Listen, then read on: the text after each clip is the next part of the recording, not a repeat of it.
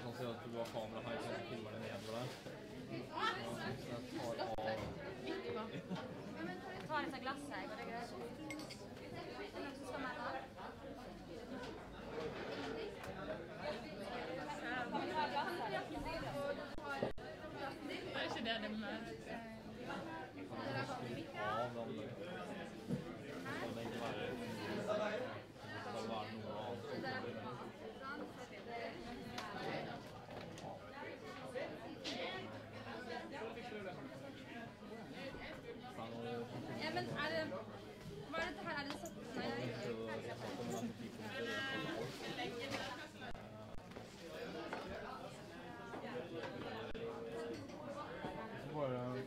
Hvordan blir det ny link, ikke sant? Ja, da må det bli ny link. Ikke sant? Bare satse på det. Hvis ikke får jeg liksom bare stå og prøve å trykke, trykke over til riktig kamera. Men eh, jeg har aldri vært borti det problemet. At den driver og rett og slett gjør det. Men det jeg kan også prøve å gjøre, er å restarte programmet. Eh, det som gir til YouTube. Da vil, streamen, da vil linken være det samme.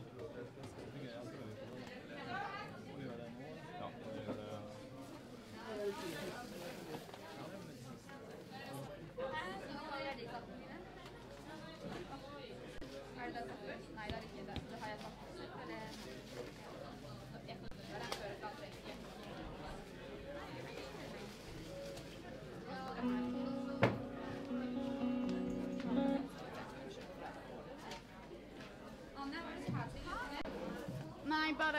legg dem der du vil. Her må vi kaste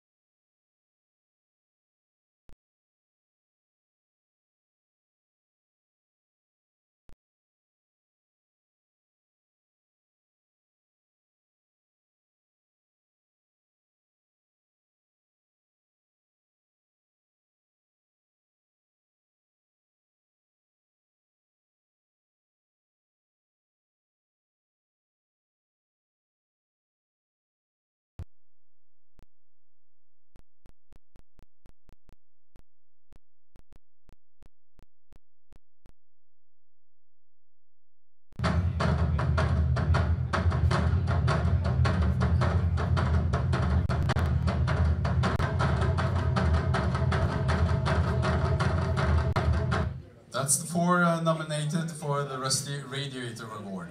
Let me now uh, ask uh, the panel to join me. First award-winning Ugandan journalist and blogger Rosebell Kagumire. Just in from Uganda today. Then leader of the SAIH, Students and Academics International Assistance Fund, Anja Bakken Riise. Plan Norway, Ellen Høvik. She's uh, constituted head of communication. From UNICEF Norway, uh, not UNICEF USA, we have Ellen Balke Hveem. Welcome. Sindre Tollefsen, uh, former representative for Norwegian Church Aid. And last but not least, Felix Osok, former leader of Utdanningshjelpen and Diaspora network in Norway. You will have to share the microphones, uh, the two of you, and uh, hold them uh, close to your mouth so we can hear what you are saying. Uh, I want to start with uh, you, Anja Bakken Riise. Um, what is the problem with uh, these fundraiser videos that we uh, just have seen? Well, first of all, I just want to say something. I want to follow up on what Magnus said earlier, and I'd like to say that um, I'm, I'm happy that we've made this campaign where we have concrete examples of what we believe are derogative and negative fundraising campaigns, but also that we have some positive examples. And I want to use these concrete examples as a departure point for our discussion. Um, but I'd really like to take it a step up and uh, discuss the more overarching issues here as well. Because We'll get there, but first, what's the problem with this? Yes. Well, what we in SAIH believe is that we want to. Uh, we think that there are two main issues that's the problem with these kinds of uh, stereotypical fundraising campaigns. Um, the first thing is that we feel that it's unfair uh, for well, about for people that we're trying to help. Um, we often see this kind of passive, helpless victim uh, who is not allowed to tell them tell for themselves what their issues really are. There's often some Western representative or famous person who will be there and say exactly what the problem is and what we should do. That's one of the things. The second thing is that we believe it's a it's a hinder for long-term development. Um, Why? Why? Because, well, basically, we've seen these same pictures for more than 60 years, and we believe that they create apathy. That's one thing. But, the other thing is that we don't really get to the core reasons for why poverty exists. We see the consequences, but we don't really get to see the reasons behind them. And poverty is not something that just comes about uh, from from nowhere. It's created somewhere. So, for instance, that Norway might has have a role in our policies when it comes to exports, uh, exporting guns, our trade policies, all these things that's behind poverty. We never get to see the bottom of that, and it's important if we want to think long-term development. Then the development organizations have to stop communicating that development is all about giving money. Okay, let's go to Ellen Høvik. You're uh, still constituted head of communications at Plan Norge, and uh, you must be responsible for the first video we, sa- we saw here with the uh, famous uh, TV presenter Stian Blipp. Uh, what's it like to be nominated for uh, Rusty uh, Rusty uh, Radiator Award? Uh, thank you for being invited. Uh, we think it's great with this uh, dignity debate. And uh, Plan's vision is a world in uh, which all children are, uh, can realize their full potentials. But do you think it's unfair to be nominated like this? Uh, For this we, video.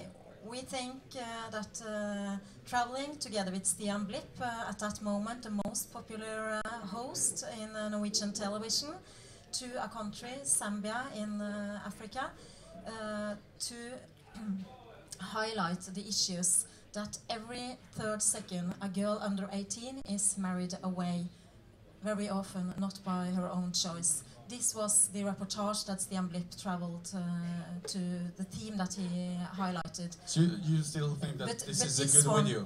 Uh, I think that uh, this uh, video does not. Uh, it's not um, the thing.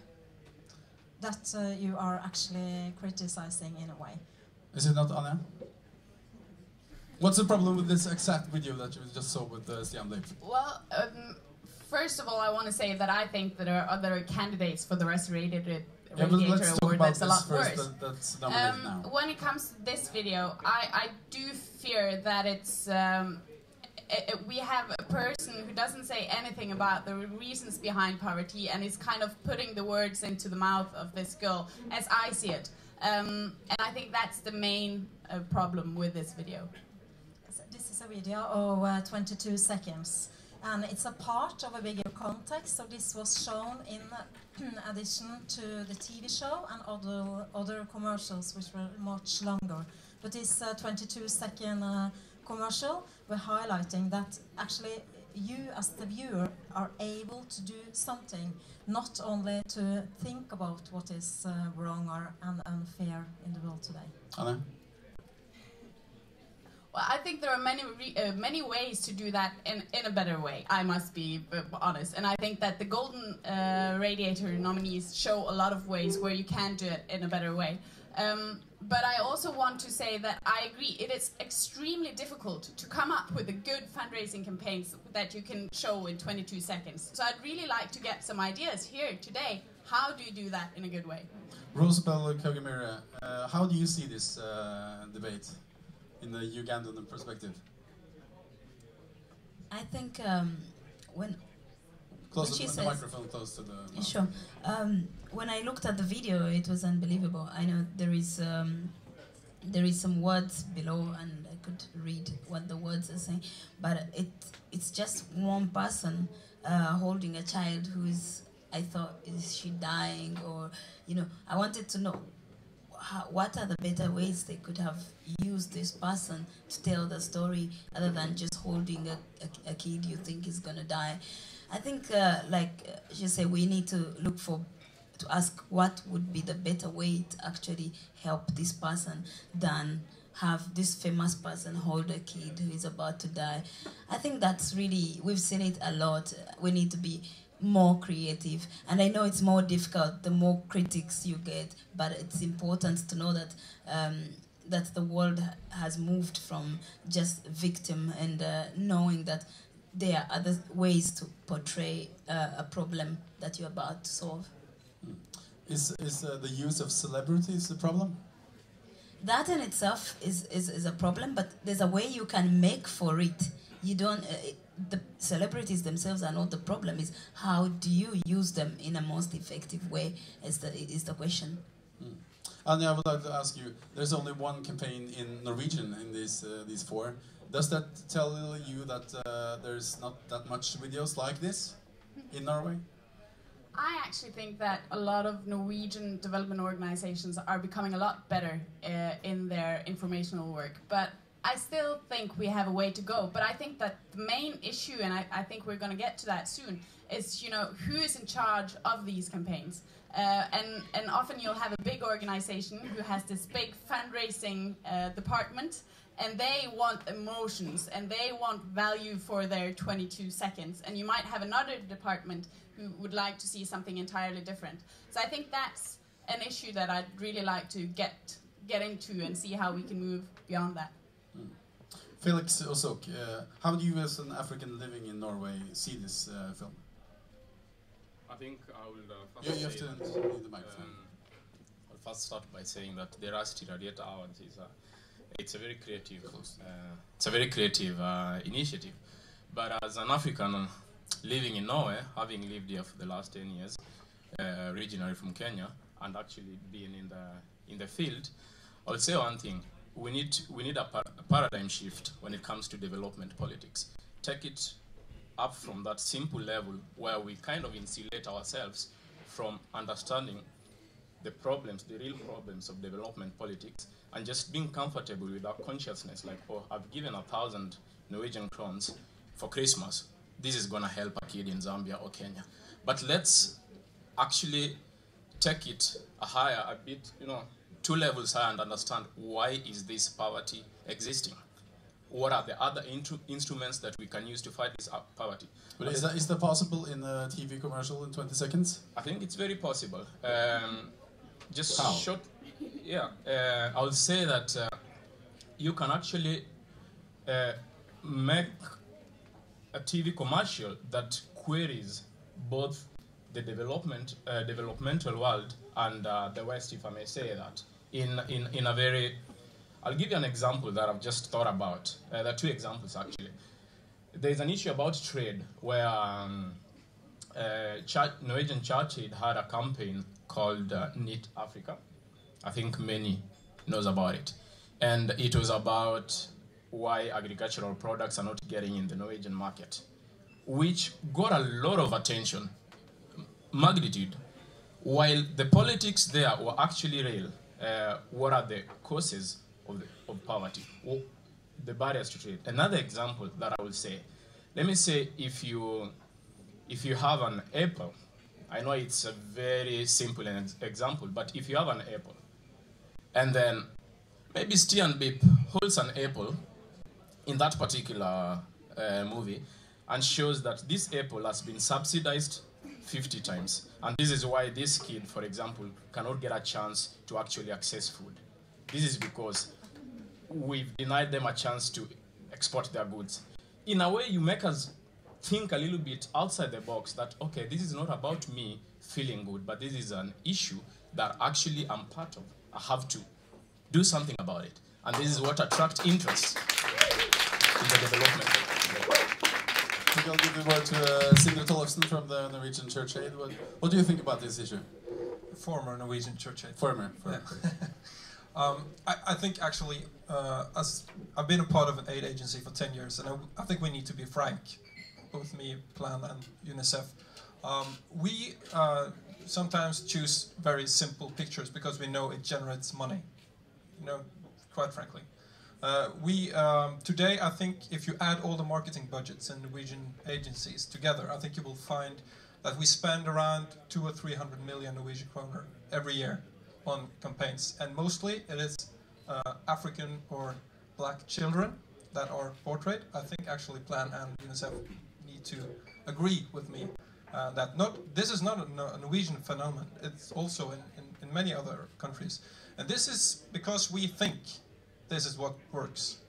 I don't think we can say that we have actually tried uh, a lot of other stuff. I think some will maybe say that they have tried in, in member magazines and, su- such things, but not with the, the big muscles, not the big big spending. Uh, and Isn't that the actually try point, uh, Vic, that uh, that this uh, that this works? Do you get a lot of new sponsors from the Scam Dip campaign? Uh, that was a very good video uh, in connection to getting sponsor, yes. But uh, we aim as the same thing as uh, here says and Felix says. We want to um, challenge the stereotypes in uh, portraying uh, people from all around the world. And uh, because we, we believe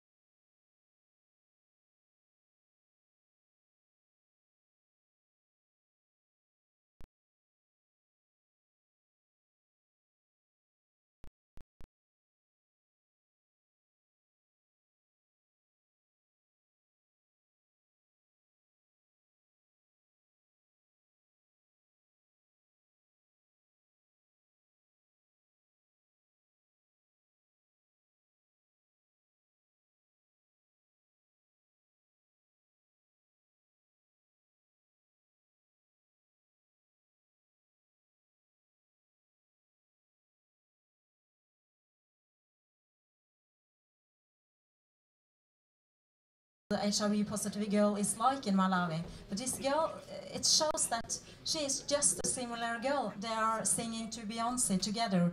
They uh, have the same dreams. And we had a chat um, on Facebook. Not more than uh, uh, 480 people asked ques- questions in that chat. But this girl from uh, Malawi, she answered uh, all the questions about studies, music, parents. Her, both her parents are died, uh, have died, but uh, she is actually a symbol that it's uh, of it's possible to push something further on to make a change because she is actually living today because the Western countries uh, um, asked or pushed for uh, copy medicine because then she gets the free medicine in Malawi. And uh, I believe the same thing is possible with realizing girls' rights. I'll give you the word, Felix. But I'll just uh, say that it will also be possible to ask questions from the audience in the end of the, this session. Uh, Felix, you wanted the word. I just wanted to add something on what you've uh, said. And uh, one thing that sometimes we have to be clear about, actually, when it comes to official development aid going to developing countries, it is of less uh, the last 10 years, no, the last five years, I mean. Um, the World Bank has shown that what diaspora, I'm a diaspora living in Norway, sends to developing countries is three times more than official development aid. EU, OECD countries, and the US combined. And then, if you think about that, then actually playing with people's feelings to, yeah, of course, I know it's very important to get money from Evan or somebody else. That 200 crowns is very important. But if we make people think about this in a more larger perspective, then I think we can actually still get those money that we need, but in a way that we don't undermine the dignity of these people. But you don't think the fundraising campaigns are important? I think they're important, but the way they're done, that is that is what I'm being critical about. Uh, we have to remember that this is the quest about dignity. The fact that this young boy here doesn't have an access to education or can't eat, it's not like he or she is not dreaming about the same dreams that you sit and dream of. He does the same, but because of the structural, you know, setup, uh, the differences which maybe he may not be in a position to explain, or myself or you. And I think that is the larger picture that we need to speak about. Another example that I thought about, uh, I hope you guys understand. I'm, I'm very happy that I've not lost my, my, my Kenyan accent. So that is, that is still there. It's rare that I speak in English. Uh, the other point that I also wanted to make, like uh, the organization that I've been uh, active in for eight years, Utdanningshjelpen, it all started that I met some two doctors in Kenya who were missionaries working in the, mission, in the neighborhood hospital. And uh, I heard that they've been helping people, the sick, women who are pregnant with uh, delivery and so on. And one time I asked them, but of course I was young, I was 14, I'd heard people speaking in the village. Do you think what you are doing is, uh, is important and uh, actually very helpful to the society? One of them said, Tia, I don't think so, they were Dutch. The other one was very confident. Then I said, but how do you speak to your people, I mean to your patients, if you don't speak their language? You don't even have a nurse who speaks the language. How do you know their problems? And then this guy thought, and then what about you? He said, I can start working for you as a translator and get my pocket money to pay at school. I was 14. That relationship has, we've kept it today, and it's not been like a donor receiver relationship. Uh, the way they've done their developmental politics or aid down there has been totally different. Utdanningshjelpen has been getting its uh, donations actually from individuals. But how do we do it? It's students helping students who think that, oh, it's a right of another student in Kenya to actually get an education. You can actually make a very good video about it and still get a lot of money. So it's just my tip. I want to bring in the last uh, debate, uh, debatant, Ellen Balke-Hveem. You're from UNICEF, uh, and you're not res- representing U- USA, who's nominated for the Rusty Awards. But uh, do you agree that uh, there is a stereotypical uh, touch to many of the, the campaigns? Yes, I definitely do agree that it is. Uh, however, and I also I also uh, agree that um, there should be a focus on development when you have campaigns. However, it's extremely hard to actually make someone who watches TV to see a 22 second video and think about development issues while they're doing their dishes and cleaning cleaning up or whatever, or in a commercial break. Um, however, uh, at UNICEF we are trying to be more aware of, of this than we have been before. Uh, How, how, can you tell me about how you work with that? Yes, I will. Um, um, right now, we're trying not to use stereotypical uh, images in our in our uh, campaigns, um, and we have a, a Santa campaign going on TV right now. I don't know if people have seen it. Um, but it's about Santa Claus uh, who disregards or inspired gifts as being real Christmas gifts. He opens a box of vaccines and say, "This ain't no Christmas gift, and I don't do poor countries." Um, and after that, we say that well, uh, if you if you disagree with Santa, we go where Santa doesn't, and you can buy inspired gifts in our gift shop. Uh, and what happened with this campaign is that well, we have had all-time results, all-time high uh, before Christmas uh, last year, and we seem to be beating last year's result this year, uh, which is really good. Uh, and there's also we have gotten so many complaints about this campaign on our Facebook site. Uh, we have never had people being so provoked uh, by any of our, of our campaign ever because we're we're messing with Santa and we're putting Santa in a bad light. So people would rather have a stereotypical campaigns. Yeah, and we're asking these people on our Facebook site, uh, well, what do you want us to do then? Uh, how could this be done better? And then very many of the, of the answers um, say that, uh, well, you could just show these poor kids in Africa and how they will they survive Christmas and will the sister die or live, and that's what people are requesting us to make, uh, which is very ironic in a way. Um, and I just think that this shows how how the general public is so used to seeing these pictures, uh, and they're so used to like that is what you ha- you're giving your money to. Uh, that well, anything else just they don't really make sense of it. Even though many people obviously do, since we're having such good results. Um, yeah, and th- that's why I think um, campaigns like this, the Golden Radiator, is so important to just raise awareness about that. Rosebell?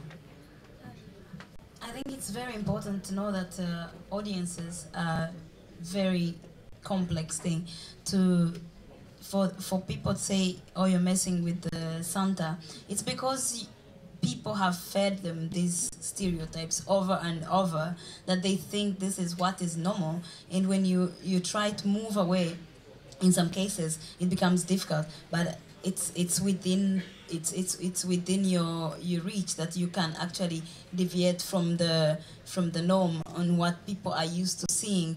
And uh, i think uh, societies change people change and it's important for people to know that this is actually not the um, the norm. Um, I wa- because i think when people are making videos for example about hunger and all this they never actually think of the long lasting image that um, that this leaves to people and one of the things that uh, we usually talk about is the fact that if you go to a dictionary and they talk about uh, famine then th- they give the ethiopian famine like that's the example like there's never been any famine in the world before the ethiopian famine and th- those are the kind of uh, legacies that images leave yeah, in the minds of people Why, why is that that's such a big problem? That people have these stereotypes? It's because uh, this is the most uh, recent and most played image of famine over and over, and uh, the world witnessed famine in different, even in Europe, in different societies. It's not like the Ethiopian famine was the first famine in the world. No, so I understand, but important why is it such a big problem? it's it's reinforcing that stereotype that if you read in a dictionary, oh, the only thing you'll think about famine is Ethiopia, and uh, I was quite shocked. In June, um, I was uh, I was nominated as part of the World Economic Forum Young Leaders. So I went to Myanmar, to Burma, for a, a course, and I think we are having a cocktail. And one of the this is a high level event, and um, one of the I, I was approached by by, by a, a delegate from China, and he was like, "Oh, you come from Uganda?" I was like, "Yes." Um, oh, I was in Kenya, and we went to this safari. Of course, the the conversation was about lions and animals, and I'm like, "Okay, when are you finishing this conversation?" because maybe I don't even know all these animals you're talking about. Then after that, he said, "Yeah, how's the situation in Uganda? Do you have food?" And I was like, "Okay." You know, these are the images people have seen over and over. But what, what's the consequences of this image? I see that you, you see this as a problem, of course, but It's- you know, what's the consequence? It's, it's the fact that people will not look at people beyond famine. They will not look at people's potential. You know, Sindre, some- you wanted to have the word? I think we from from the aid industry. Let's just. Uh, Yeah. I think I think actually we need to make an excuse for our communication. I think it's it's, it's fine that we show that we have some other initiatives from time to time. But the big picture, the big money, are still spent in a traditional way. Actually, we need to agree uh, on- that. And that just to follow up uh, for you. Of course, if you look at people in Africa as objects and people that you need to, to help with your charity, you won't look at them as your trading partners, for example. It can be a hinder uh, for, for, for trade. If uh, the, the biggest muscles from the development industry in the Western world is actually spent on portraying people as helpless, of course, we need to make an excuse for that. It's a huge problem for development if, if, uh, if we look at uh, possible trading partners as victims. Will Plan excuse the way they have been portraying uh, Africans in the campaigns? We uh, don't portray Africans uh, as stereotypes. We, like we or- saw on the display Yes, video? but uh, we don't agree that this is a stereotype. Uh, but uh, but we uh, we focus on uh, deli- delivering stories about real people, children who uh, wants to who are obliged to have the same rights as us here in Norway, and uh, who has the potential to fulfill their rights if they are given the needs that they uh, are obliged to.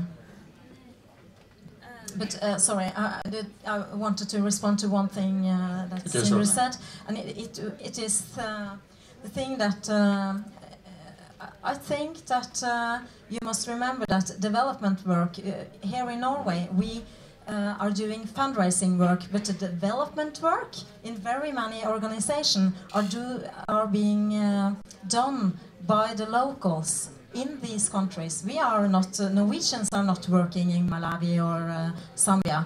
It's the local people, and they themselves decide what kind of programs are we going to do, and the children are always involved in Okay. these programs. Many hands in the air.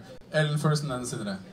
Uh, Sindre, I really agree with you um, that up till now, now a lot of the money in fundraising campaigns has been used in that way, um, and I think a lot of it still is. But I think we're seeing a change in generations in, with people working um, in fundraising, uh, and I think that young people who are entering this business uh, are more aware of these issues than the generation before. Uh, and also, young people in Norway have traveled a lot more uh, and are much more aware of how things actually are in the world. Uh, and I actually really truly think that this is something that will change and be more towards the creative, new kind of thinking. Do you think so, Sindre? No, just I just look. Take a look at a web page when you come back home. You, you, you take a look at child sponsorships. Just just go home, take any any web page for a big news media in Norway, and take a look at, on the portrait. If that's not an, uh, uh, looking at down at a helpless black child, then you know I don't think we're telling the, the truth. That, that's one thing. The second thing, uh, yes, of, of course we have partners in, in, in poorer countries doing the work, but we're never showing it. It's that easy. You know, when you had a famine in, in, in the Horn of Africa in 2011, we had Somalian, Kenyan, Ethiopians working day and night, right, to distribute the, the, the relief at the Horn of Africa. We never show them. We show the pictures. And the reason is that you don't get the money. Right. Come on, we need to be honest about this. Felix? Really.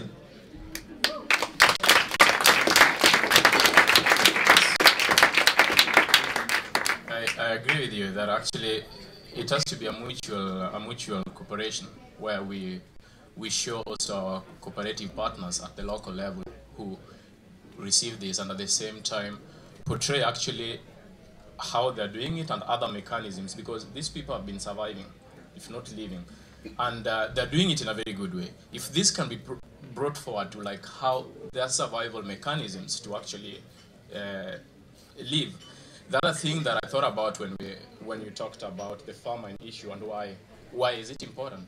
Because one thing uh, from time back, I mean the politics development politics is changing today, where we have developing countries looking towards the west. I mean towards the east, and the west wants to still be relevant in uh, in the playing field. But we have to think about dependency theory because the more we continue with uh, the stereotype nature of uh, presenting aid and who needs it, we continue actually uh, fermenting or just uh, even improving the dependency theory, whereby meet somebody and they know, okay, please give me money. You are white, because it's we who- who've caused it with what they see on TV. Like when you come back home and you see that film, they I know once I give money, then I'm done. I've done my part. Yet it is more than that. So we can actually be doing more harm than we are uh, doing good to the world. Ellen first and then Anja.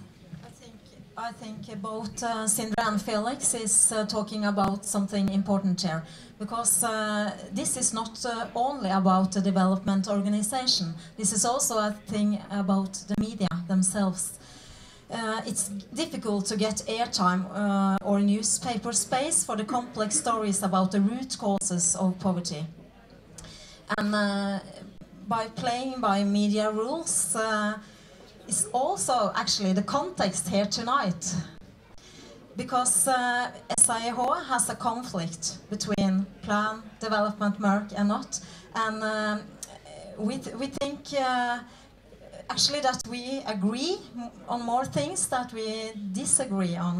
Uh, and the fact that as a celebrity was involved in this uh, the Stian Blipp video was a way of SAIH to get attention to this Isn't that conference. point, Anja? That you also use uh, celebrities getting attention to, to this arrangement? Well, it was an international jury who did nominate those videos, but absolutely, it's been a lot easier for us to get attention when we have an award, uh, and and it's also uh, it's been easier to get attention probably because there was Stian Blipp, but there was 50 Cent. Um, actually, media had uh, the Breakfast TV mentioned it to me earlier today, and they said it's really good that the way you're portraying this because it makes it so much easier to, for us to deal with, which of course is a problem. Um, but but as I said earlier, we want to use this as a point of departure, and I want to say how do we move beyond to how do we get to uh, the time and space where uh, development aid is superfluous? How do we get to some point where we don't need development aid anymore, and then we have to move beyond using celebrities, and and we have to, yeah, move beyond these, this way of playing off of emotions. How do then we do that, Rosebell? I wanted to emphasize something uh, across the the, the the the videos we watched. It's the use of children.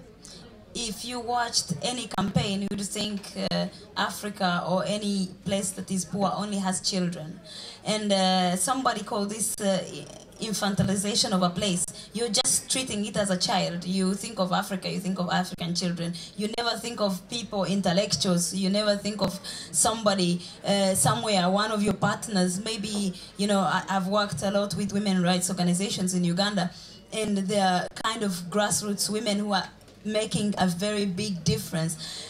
I don't think such a woman would easily feature in a campaign for somebody say, you know, support this kind of work, support women to fight for themselves. If some, for example, if an NGO was looking for money, they don't want to use that. They want to to, to, to, to attract by using a child because that's the most innocent thing for any society. But it's it's also shows that you want to portray this continent or people like perpetually as children, like you have to look after them, you have to do this for them, and it's not right. I, I think uh, beyond even just the stereotypes, it's about constantly portraying a whole continent as a child. You know, how many uh, uh, campaigns are we asking somebody?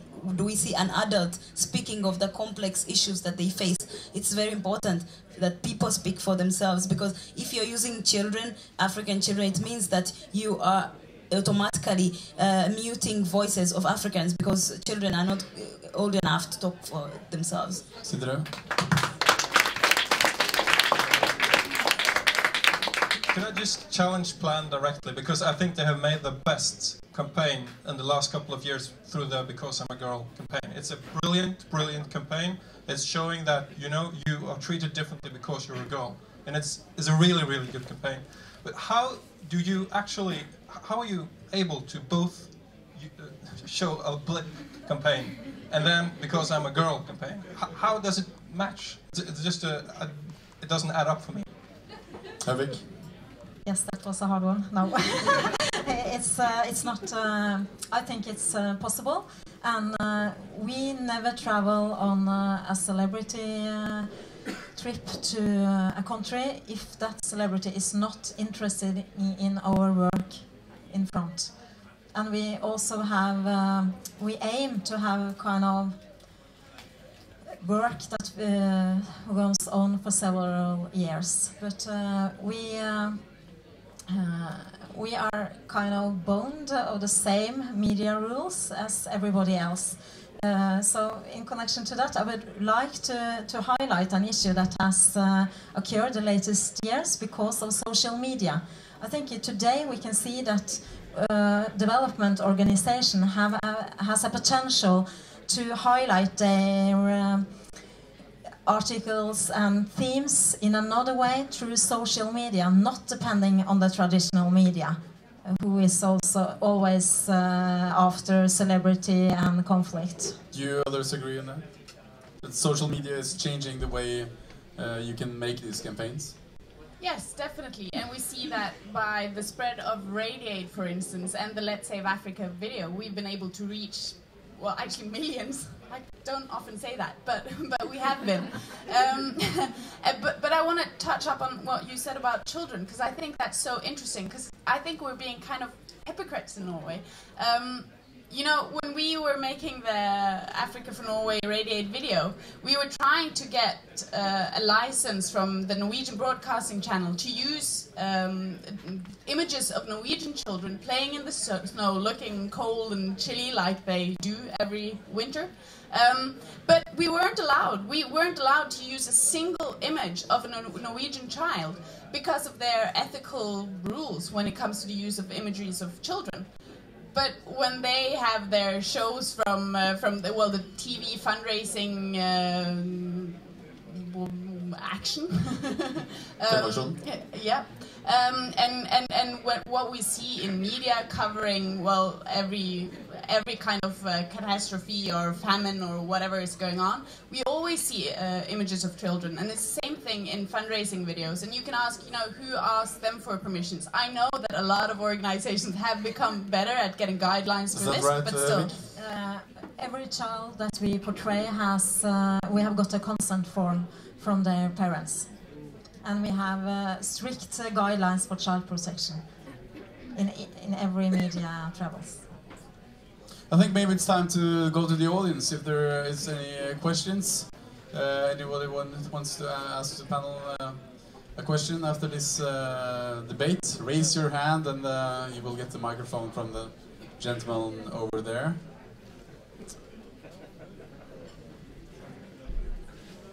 There's one. Ju- Please state your name and uh, if you're representing anyone uh, other than yourself, uh, say so. Uh, I think I would like to just represent myself for now. Okay. And my name is uh, Christopher. Hi. Uh, hi. well, well, I think one of the most surprising things that was just said here is uh, from from the plan woman that you still do not think the the Blipp video is stereotypical, uh, and I just wanted to repeat that and to pond upon that, if that's the right word.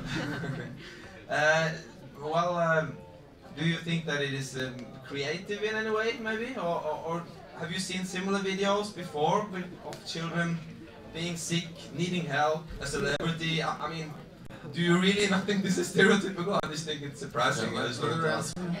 I don't think this is stereotypical. I see uh, uh, the very popular uh, program host holding a sleeping child in, in his arms.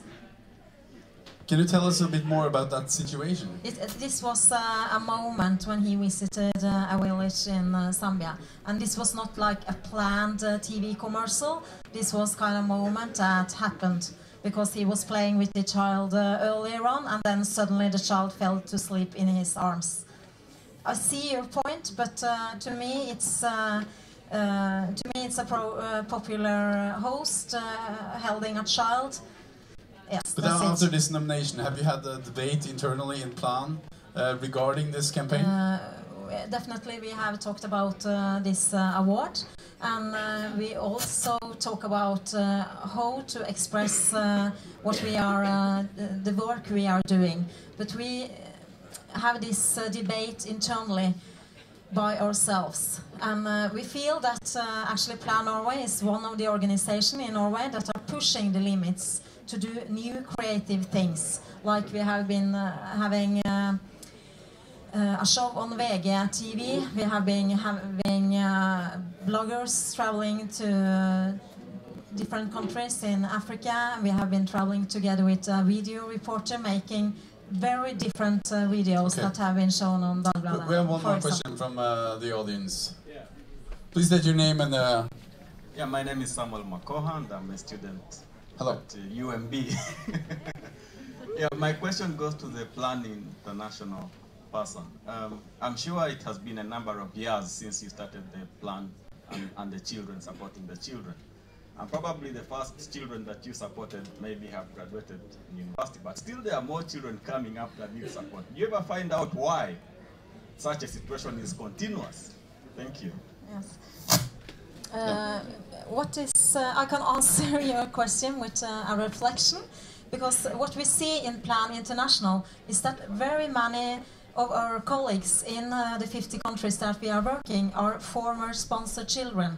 So they kind of, today when they are grown up, they uh, uh, wants to help the children in their local society and I feel that doing this through Plan, it's a very good way of helping children. Uh, and uh, for that uh, fact, we are only working in the poorest of the poorest countries, uh, areas in the world. shortly, Anja. I just really want to ask a question, and I'd love to get a response from UNICEF as, and Plan, particularly. If, if we have the time, there's more questions from. Because uh, one of the things that I find problematic with the Stian Blipp video, but in many, many videos, is how you use one person to kind of represent issues of poverty. Um, and, and, and I, well, I believe that this kind of covers up the real reasons behind the underlying reasons for poverty issues. And I would really just like to get a response from UNICEF and Plan if you see this as an issue at all, or if, if that's not really the case. We do. Yeah. yes, this is uh, definitely an issue. And uh, for us, the 22 second video was not meant to uh, show the root causes of poverty. But Stian Blipp, uh, we made a five, six minutes video in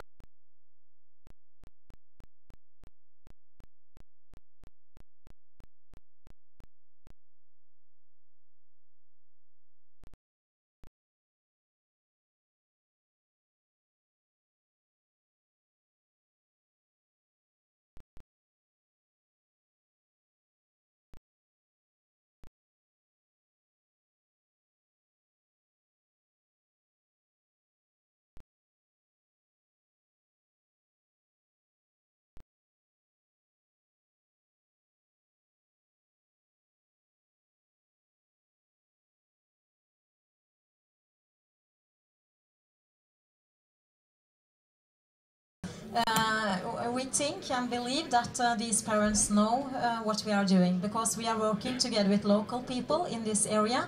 So if there is a question about the language, uh, it's the local plan people that are telling about uh, the setting for the consent. And we also have like pictures if it's for a commercial use, pictures, and we tell if it's a TV film, and then watch the film uh, later on. So uh, yes. You had a short question, Felix? Yeah, I had a short question. Uh, you mentioned about the ethical standards that before you you you take these films, of course, you you have to tell them and get their permission.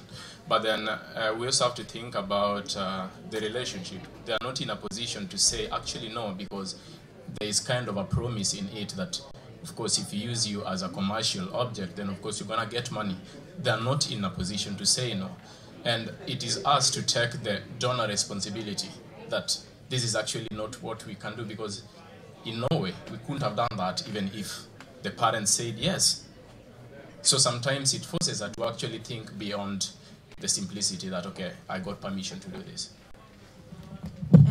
Um, but uh, sometimes we experience that parents say no.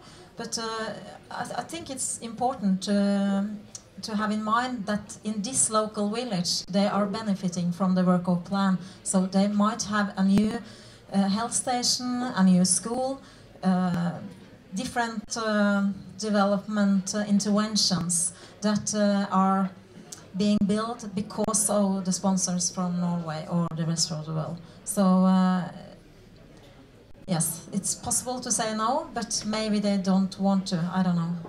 Is there any more questions from the, the audience before we uh, end the debate?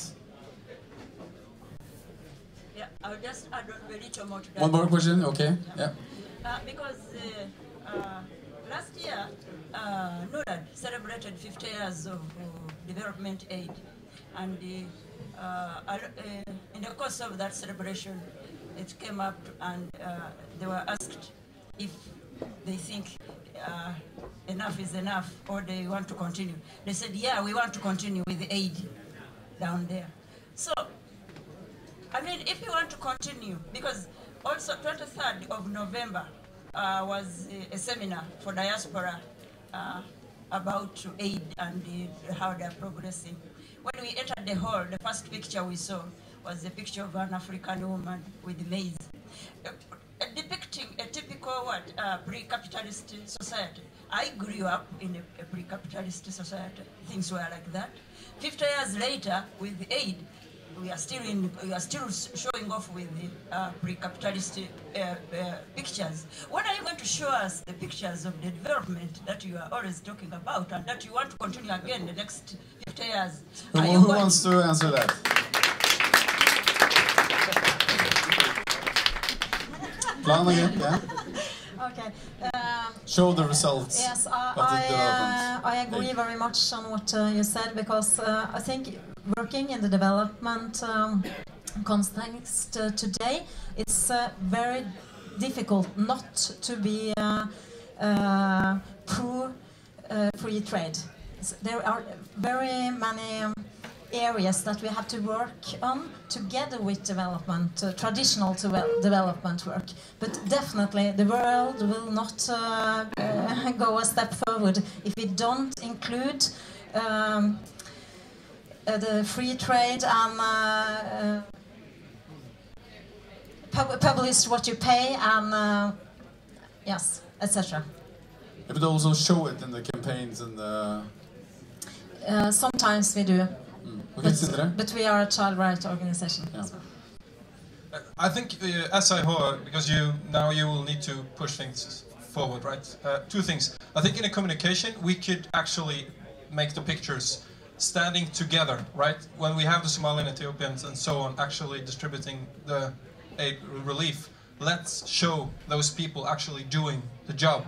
Let's uh, and let the message be that we stand together with Norwegians doing this job. Let let's that be the message. I think that that would be good. Secondly, for SAIH, I would like you to challenge the aid organizations to accompany uh, political uh, campaigns like Nytt Africa and other political campaigns. Then you could see which of the organizations actually are willing to move into the development area, also in, when it comes to, to communication. And that's a, a, a lot tougher choice for, for everyone because you need to risk something.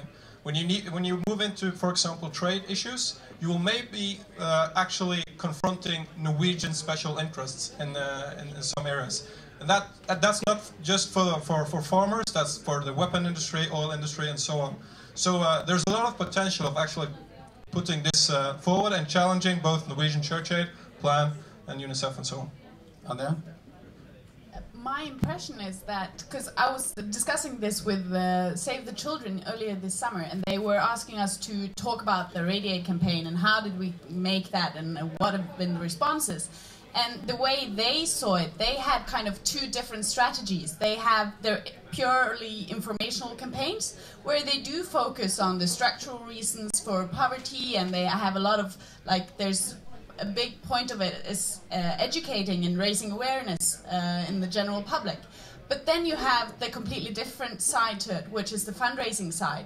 And for instance, they, they were saying that in Great Britain there have been great discussions going on because um, they just launched a campaign where all the images they shown were you know the, worst possible kind of images that you could think about uh, showing children starving flies in their eyes big stomachs like it really really tears you apart when you see those pictures. And they said that they have gotten more money than than ever before.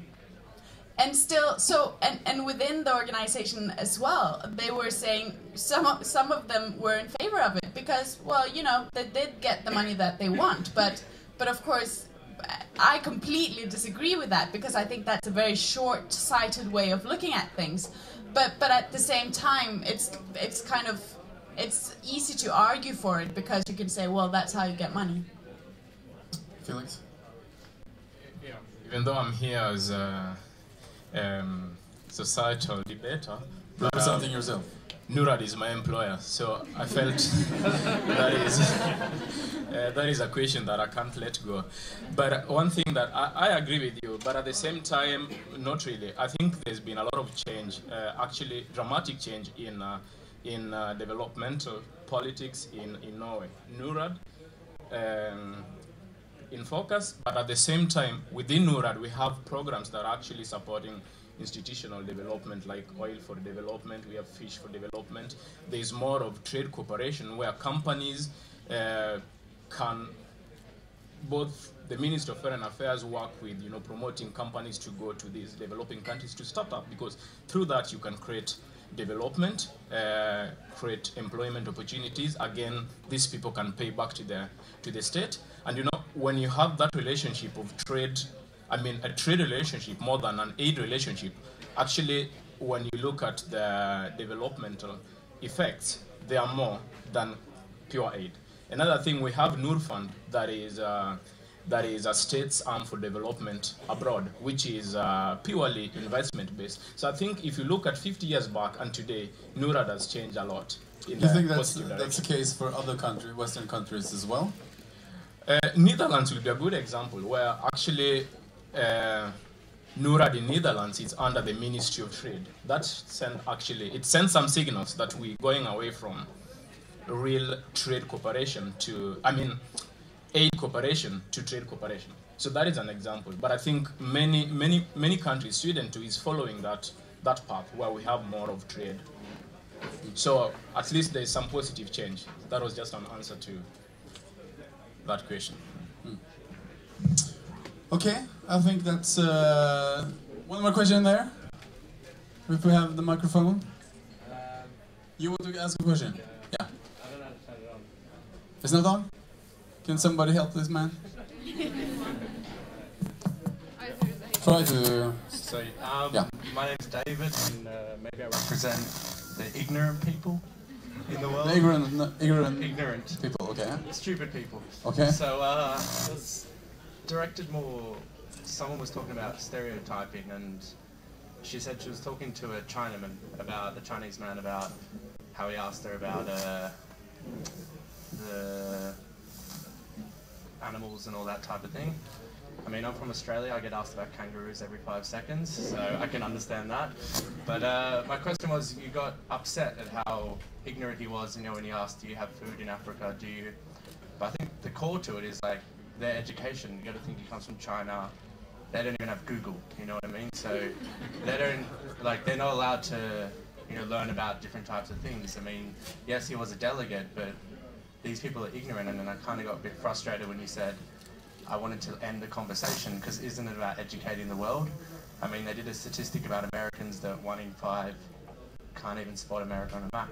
So, you know, to get angry at people all the time doing this, it kind of defeats the purpose. It just creates another stereotype of ignorance. So I think it's all about, you know, having the patience to educate those people. And I think it's kind of frustrating when you do all these debates and you do all this about educating people and then when you find someone who actually doesn't know and doesn't understand and you get frustrated, then you've got to understand they come from a background that's very different to this.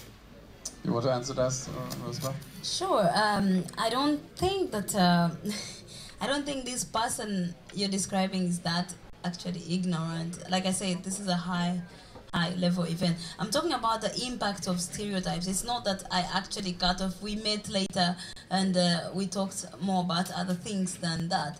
But it, I was showing you just one example. I could even get those I've gotten in Europe or America or wherever. There are so many, uh, but it just shows you how somebody is fed on this. They will tell you, "Oh, I saw."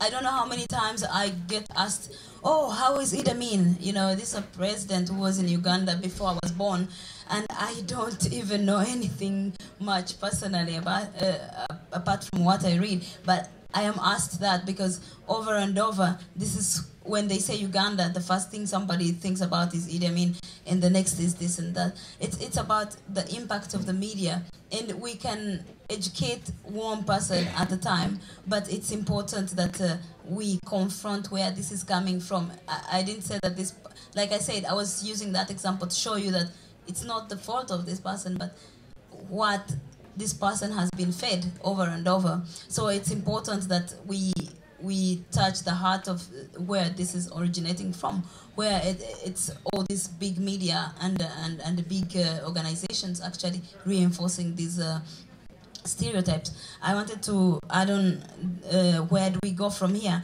I think it's important to give people voices. You know, it's important to give people voices. It would be nice if I went somewhere and said, "Oh, I watched on TV. There was this woman from Uganda who was explaining this and that." Uh, it's it's very important that people have their own voices. Uh, unfortunately, most of these ads we see a child, then we don't see a society. Actually, we see a child, then we see a Western person. It's like in between there's nothing. Like this is a child abandoned. Uh, it does not give you. So it's important to give people to give a society a voice not just pick one piece out. Because a child belongs to has a family has people who care about about them. So uh, for me th- that's what bothers me that they use a lot of children and use them in in a way that it tells a viewer as if this is some child who is abandoned um, without any help. And uh, I guess that's why we have the highest numbers of our adoptions from the Western world, not from China. Okay, I think we're, we're summing up there, but uh, Anja, you can get the word last. I just wanted to uh, comment on that because I think it's a really, really valid and important point. When we finished the Radi-Aid uh, the Africa for Norway video, uh, people were commenting on YouTube, "Oh, that can't possibly be from Africa. They, you know, that's California." Just because you see skyscrapers, basically. So that shows you what kind of a skewed image a lot of people have of, of African countries. Um, uh, but I think this is kind of a, a core issue, uh, and I think it's back to what Sindre was saying that we also like we can't. We have to have campaigns that are able to both kind of uh, okay if you're doing fundraising sure you know you have to do that but you also have to give information and raise awareness on the political issues um, because otherwise we're not going to move on. We're not going to be able to educate people. And and I think that's really what we want. It's not it's not enough to be angry. We can't just simply get angry. Uh, but I guess it's frustrating being asked about kangaroos every five seconds as well. So but if we want to move on we need to change the way we inform people. And that's where both media and organizations like ours have a responsibility Okay, I think that's the last we get from the debate. Uh, thank you.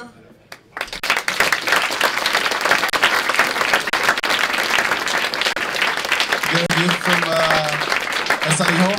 It's uh, just a few minutes before the, the prize ceremony begins, the award ceremony for uh, stereotypical campaigns.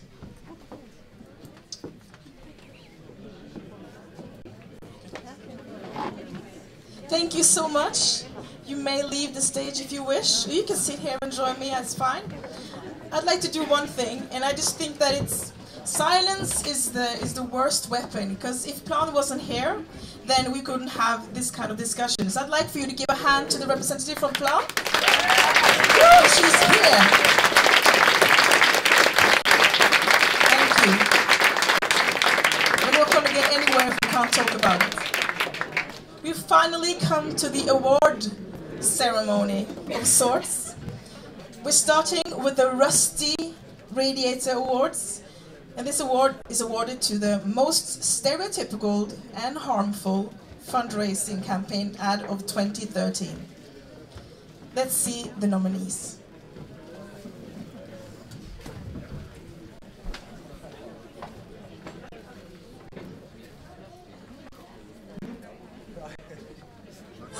Aleine forandrer ikke fremtiden.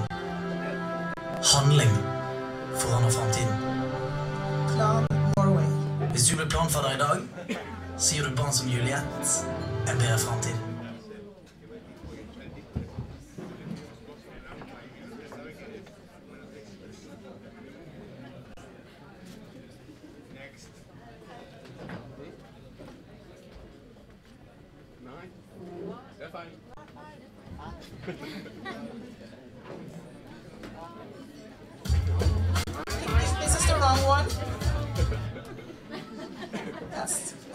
The golden radiator. If we can get child fund. Aleine forandrer ikke fremtiden. We can see it again. Handling Maybe we'll learn forandrer fremtiden. Hvis du blir planfader i dag, så gir du barn som Juliette en bedre fremtid. Plan Norway. You've seen me before in places like this. You've seen the children in these desperate neighborhoods, too poor for words. What you haven't seen is a child like Isak, standing in a doorway, asking, Did you bring me a sponsor? Child fund. What would you do if there was a child right in front of you, sitting all alone, crying in pain from hunger, near death from sickness?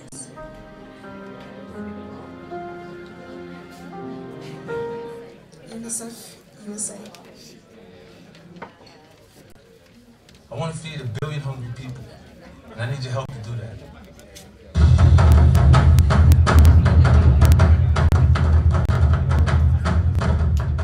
And the last one from Street King Energy. Now I was told that there would be an envelope. Does someone have an envelope for me?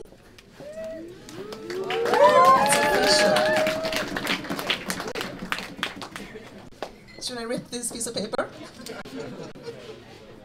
And the winner is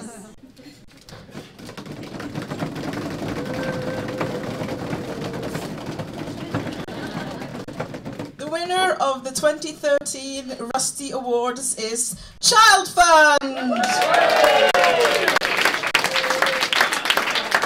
Yes. For some inexplicable reason, Child Fund is not here to receive the award.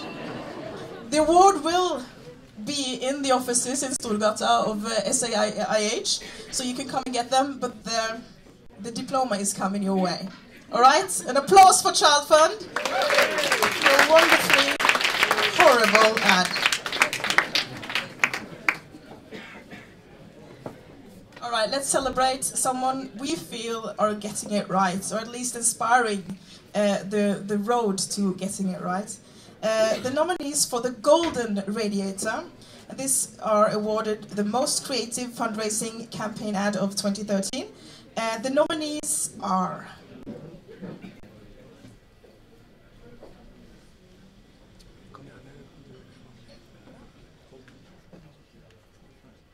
Water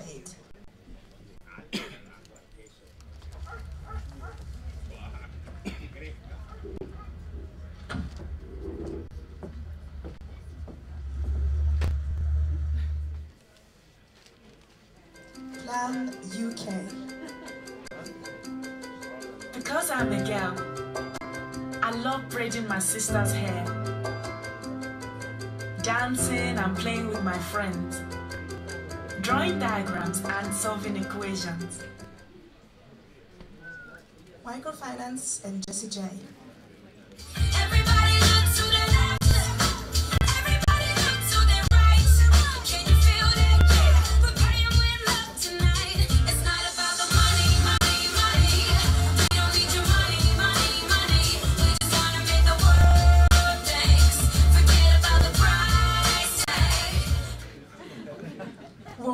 is life.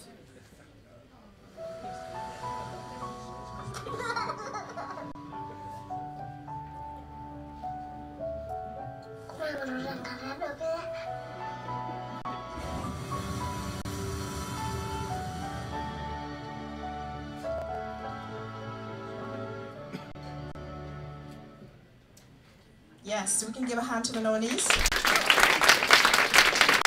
And I urge you to go online and see the because they're truly inspiring. The winners.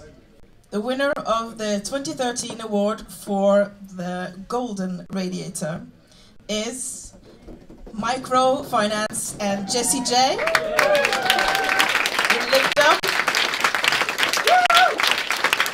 And this time we don't have a person in the house, but we do have a short thank you video. We do not have, yeah. Let me just utter a wish then. Maybe it could be put online so people can see it. That would be a nice thing, maybe on Facebook. That gives you a reason to go back into the, to the Facebook pages and the internet pages. Thank you so much. Let's give a last hand for, for the microfinance video and the nominees.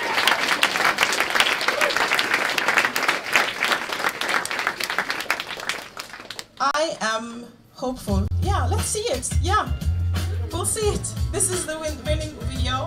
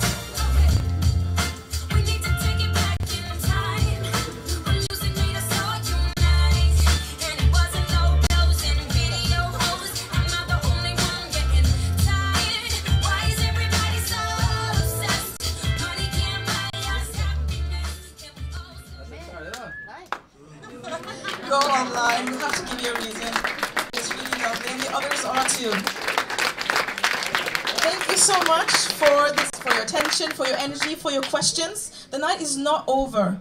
Um, uh, but I'm going to end my part right here, and the award ceremony is over. Hopefully, this will be a yearly thing, and I'm hoping that you'll give your support to keep this happening. And uh, hopefully, in the long run, we won't have have to have this kind of evening, right? All right? My name is Monica Ifejilika, and I bid you farewell and thank you.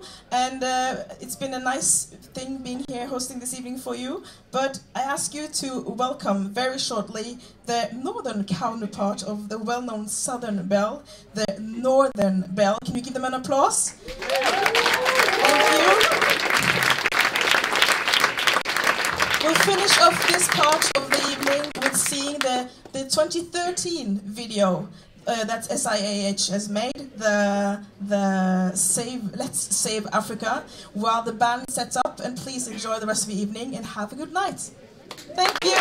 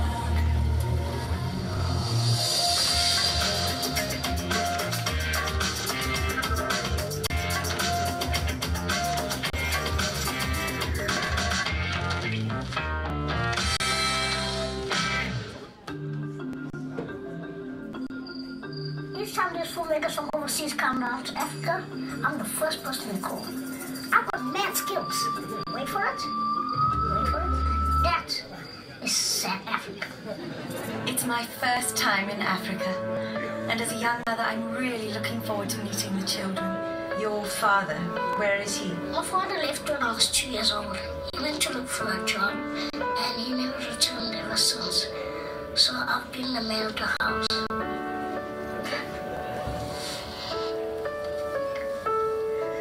Is this your first charity appeal? Good. Michelle, You must stick to the script. So, uh, Michael, where is your father now?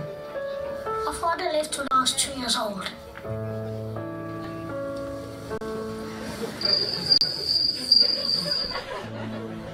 Bring don't mean anything to us, but their faces light up like nothing I've ever seen before. Michael, do you have Danishes in Africa? No. I've got a surprise for you. Thank you. You're welcome. Tastes like shit. Celebrities always give me these crappy presents. They have so little, yet they smile.